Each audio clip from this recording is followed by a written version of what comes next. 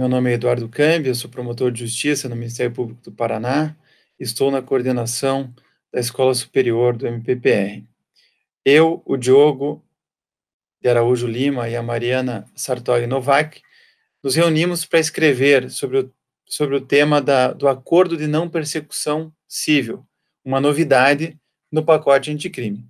Então, eu vou fazer algumas considerações iniciais, depois vem o Diogo desenvolvendo ainda mais esse tema, e por fim, a Mariana. É bom dizer que a lei de improbidade administrativa, ela já previa no artigo 17, parágrafo 1 essa lei de 1992, uma vedação à possibilidade de qualquer tipo de transação. Com o passar do tempo, o Congresso Nacional meditou a respeito desse tema o presidente da República enviou a medida provisória 703 é, para o Congresso Nacional, isso foi em 2015, para permitir acordos na improbidade administrativa. Entretanto, essa medida provisória não foi convertida em lei. Nesse período, tanto a jurisprudência como a doutrina entendiam pela conveniência de se modificar essa forma de entender o direito administrativo sancionador para possibilitar acordos e transações na esfera do direito administrativo.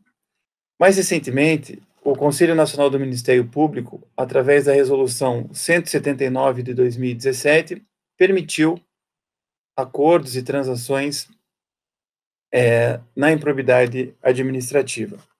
E antes disso, o direito administrativo sancionador já havia evoluído para permitir acordos, como o acordo de leniência na lei anti, é, a lei é, anticorrupção empresarial e a possibilidade de mediação e acordos em diversas legislações, como eu vou fazer menção. Além disso, o direito penal já permite vários instrumentos de acordo, como a transação, a suspensão condicional do processo, a colaboração premiada e, mais recentemente, o Acordo de Não Persecução Penal. O pacote anticrime, embora tenha esse nome, é a Lei é, 13.964 de 2019, que está em vigor no Brasil desde o dia 23 de janeiro de 2020, também modificou a Lei de Improbidade Administrativa para alterar a redação do artigo 1 ou melhor, do artigo 17, parágrafo 1 da Lei de Improbidade Administrativa. É bem verdade que esse artigo permite o acordo de não persecução civil, mas não há uma regulamentação desse instituto, e daí a importância de nós trabalharmos isso na doutrina.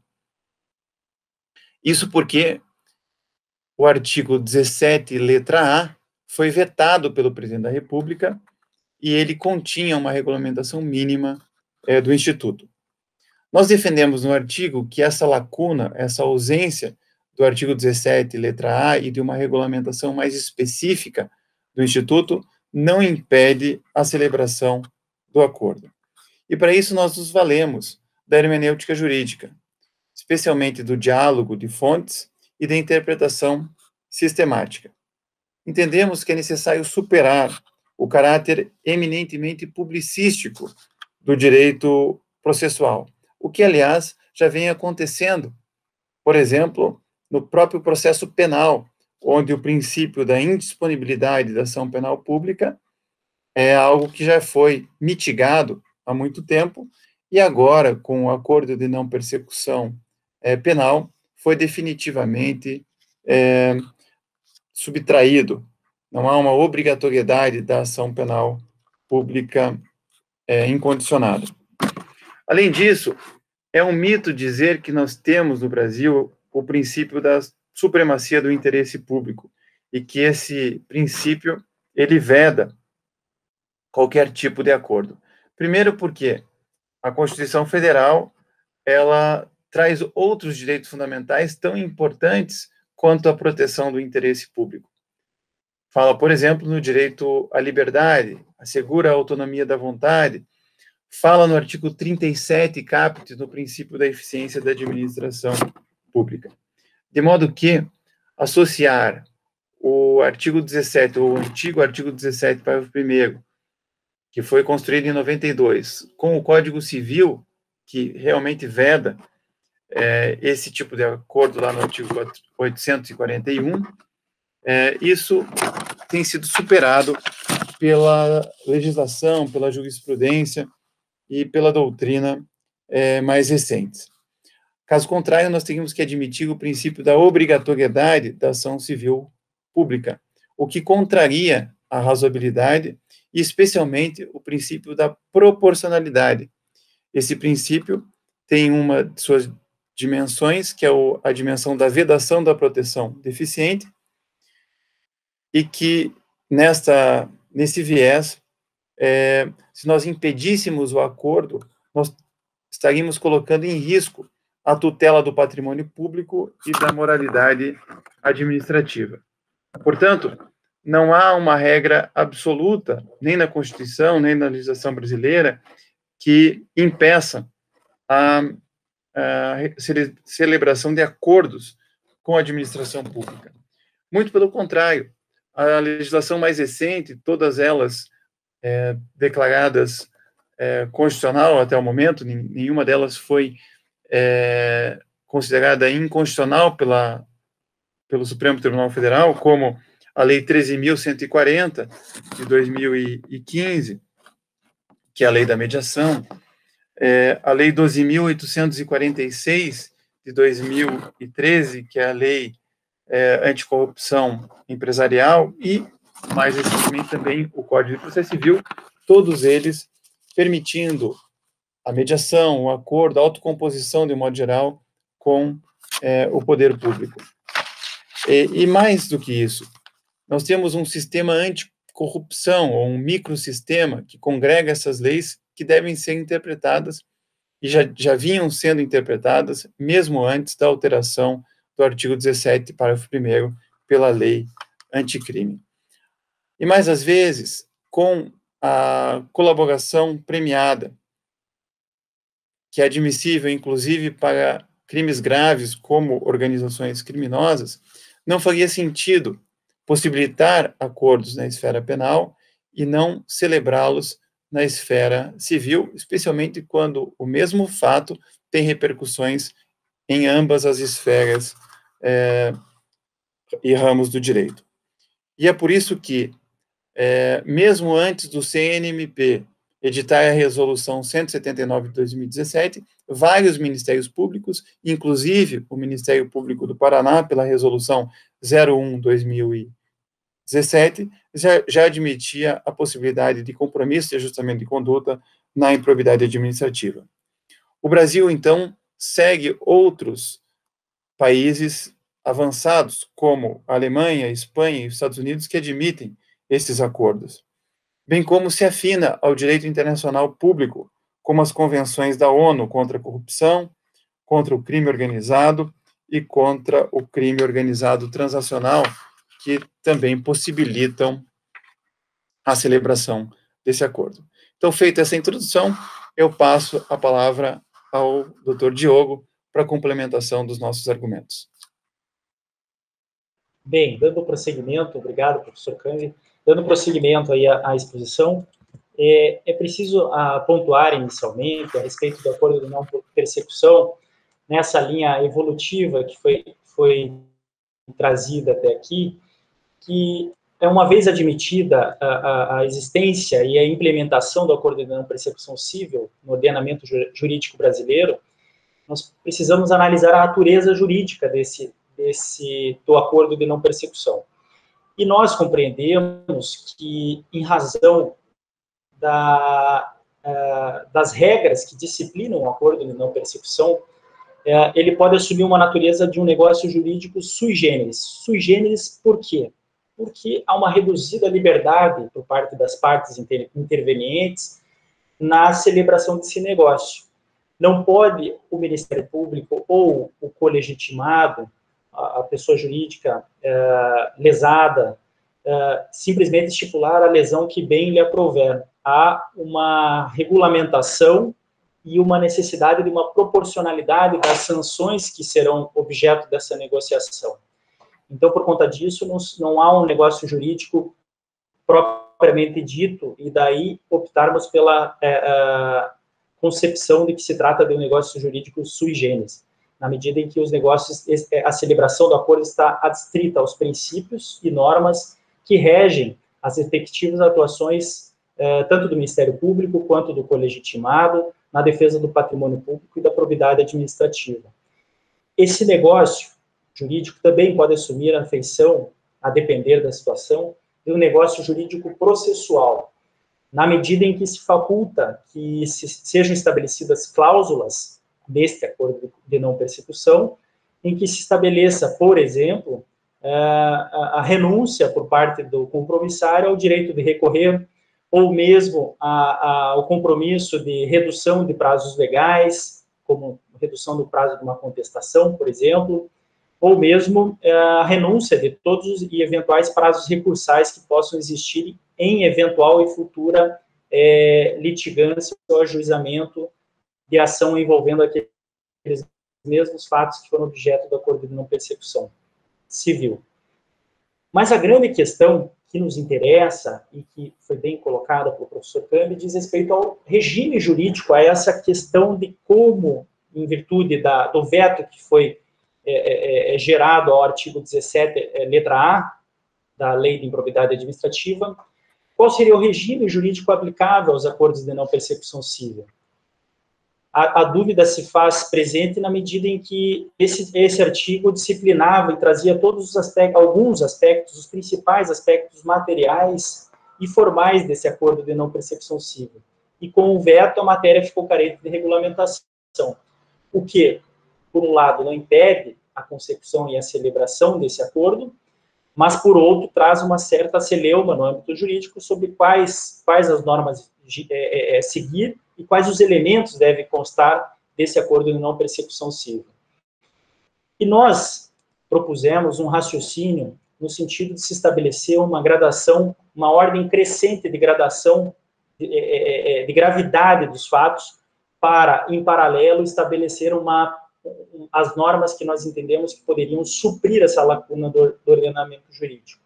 A começar, então, pelos fatos que podem constituir improbidade administrativa, que seriam de natureza leve, assim considerado aqueles fatos previstos no artigo 11 da Lei de Improbidade Administrativa, que trata da violação aos princípios que regem a administração pública. Nessa hipótese, as sanções que eventualmente seriam cabíveis seja na esfera judicial ou mesmo agora no âmbito extrajudicial por meio do acordo de não persecução civil, seriam sanções de menor gravidade e que, em regra, se limitam a obrigações de fazer, não fazer e obrigação de dar. Usualmente, pagar multa, determinada quantia em multa e reparação do dano. Essas obrigações, elas são, elas são condizentes, compatíveis um instrumento que já é previsto no ordenamento jurídico, que é o termo de ajustamento de conduta, que é regido, dentre outras normas, pela lei, normas pela Lei de Ação Civil Pública e também pela Resolução 179 de 2017 do Conselho Nacional do Ministério Público. E ali, nas normas do TAC, do termo de ajustamento de conduta, nós podemos encontrar alguns elementos, alguns instrumentos, alguns uh, uh, aspectos que podem vir a colmatar essa lacuna do acordo de não percepção civil. Passamos, então, para uma segunda forma de comatação, trazendo afinidade de normas para fatos de uma natureza de gravidade intermediária, que seriam aqueles fatos considerados que, que constituem crime e que admitem a celebração de acordo de não percepção civil, e, ao mesmo tempo, desbordam para o caso, para o âmbito da improbidade administrativa. Então, para manter uma coerência, entendemos que, nesse caso de infrações assim consideradas de natureza de gravidade média, é, seria cabível a aplicação, a, a, a, dessa lacuna por meio das normas do acordo de não persecução penal, é, assim previsto no artigo 28A do Código de Processo Penal. Então, os fatos que admitem a celebração de acordo de persecução penal, de, de não persecução penal, uh, os fatos que também constituem improbidade administrativa, eles se enquadrariam nas mesmas regras do acordo de não persecução penal. Vale dizer, em síntese, a necessidade, haveria a necessidade do compromissário, entre outros aspectos, reparar o dano e confessar a prática delitiva ou do fato ímprobo. E passando para o terceiro nível de gravidade, e, aí sim os fatos é, de, maior gravidade que podemos considerar no ordenamento jurídico, eles não estariam excluídos do âmbito da, da celebração do acordo de não percepção civil, assim como não estão excluídos do âmbito de uma celebração de acordo no, no plano do, do direito penal, que é considerada a última raça do nosso ordenamento jurídico. Uh, esses fatos, eles podem dar ensejo à celebração do acordo de não, é, ao, ao, acordo de leniência previsto, previsto na Lei 13.850 de 2013. E nessa medida, nós entendemos também que poderíamos utilizar esse aparato normativo para subsidiar a celebração do acordo de não percepção civil. E, para tanto, ah, seguindo essa escala gradativa de gravidade, de fatos em, em paralelo a um comportamento de maior intensidade, de maior proveito investigatório e de maior proatividade do, do compromissário, entendemos que nessa hipótese a, seria cabível a, a suplementação, a, a, comatação desse, dessa lacuna por meio da lei do acordo que prevê a lei do acordo de leniência e como um dos requisitos para a celebração do acordo de não persecução civil exigiríamos por parte do compromissário não apenas a confissão, mas também uma contrapartida ainda maior dada a gravidade dos fatos. Uh, exigiria que houvesse um proveito ainda maior em termos investigativos, como a indicação de provas, a indicação de testemunho, a elucidação dos fatos e da investigação. Essa comatação também ganharia suporte nas convenções que foram uh, mencionadas, professor Câmbio, né, pelas convenções de Palermo e pelas convenções de Mérida, que também trazem elementos que podem subsidiar o, o operador do direito na celebração do acordo de não persecução em virtude do veto ao artigo 17A da Lei de Improbidade Administrativa. Então, eu encerro essa minha parte, passando para a nossa colega Mariana Novak dar prosseguimento à nossa exposição. Muito obrigado. Boa tarde. É, vou dar seguimento ao que o Dr. Câmbio e o Dr. Diogo já iniciaram. E para dar continuidade nessa abordagem, é importante a gente mencionar acerca de alguns aspectos controvertidos sobre o acordo de não persecução civil, que estão relacionados principalmente com a atuação do Ministério Público, que seriam principalmente o prazo para a celebração do acordo, a necessidade de homologação pelo órgão superior ministerial, a homologação judicial desses acordos, a possibilidade de controle judicial dos termos do acordo e a solidariedade passiva para a celebração dele. Sobre, a, sobre o prazo para a celebração, é, há opiniões diversas. Alguns mencionam que, em decorrência do artigo 17, parágrafo 1a da Lei de Improbidade Administrativa, a celebração deveria ocorrer até o oferecimento da contestação. Outros mencionam que o limite seria o trânsito em julgado da, da sentença condenatória, e também quem desconsidera esse limite e para garantir um, um êxito em eventual cumprimento de sentença. Todavia, se a gente fala em uma delimitação temporal para essa celebração do acordo, nos parece estar havendo um descompasso com esses novos ideais e conceitos que advêm com essa noção de consensualidade, bem mencionado já pelo Dr. Cambi no início da, da exposição.